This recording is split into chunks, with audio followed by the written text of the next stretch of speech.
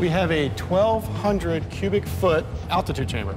We have the ability to manipulate the oxygen level in here to simulate high altitudes. So what we're gonna do is put you in there and adjust the oxygen levels to simulate altitude and have you perform some critical tests. Jeff will wear a 60-pound vest, simulating the same gear he'd be carrying up the mountain. He'll climb for five minutes while the science team measures his oxygen saturation and vital signs. Then we'll reveal the enemy. But there's a catch. One is armed, and the other is not. After intense high-altitude aerobic activity, the Army Ranger will have to make a split-second decision and shoot the right guy. They will be using non-lethal cartridges that leave a water-based coloring so they can see exactly where the bullets hit. First, the fight science team has to suck enough oxygen out of the chamber to simulate altitude at 15,000 feet. The, the concept of building an altitude enclosure around a climbing wall has been bounced around for a while. And as far as I know, this is the first time it's ever been done. The oxygen is extracted from the airtight chamber through these molecular air separators. They suck the air out through a bank of hoses, separate out the oxygen molecules, and pump it back in to simulate high altitude. Along the way, we were measuring pulse ox, or basically how much oxygen is saturated in the blood.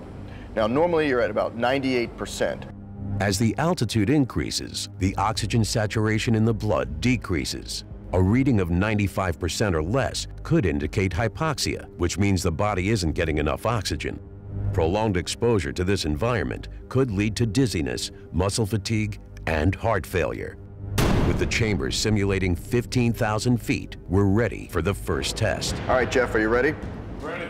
Three, two, one, go.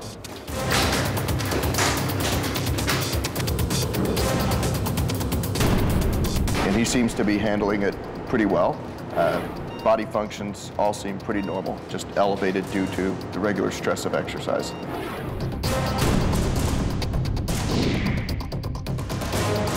Five, four, three, two, one.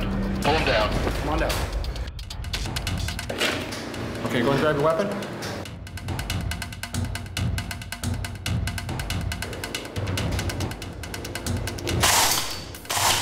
Okay, hit, hit, hit. Okay, good. Go ahead, put the weapon on safe. Jeff's blood oxygen saturation dropped down to 89%, which could indicate significant hypoxia in a normal human being. But Jeff is accustomed to working in this environment, and it has no effect on his precision. He hits the armed opponent's center body mass.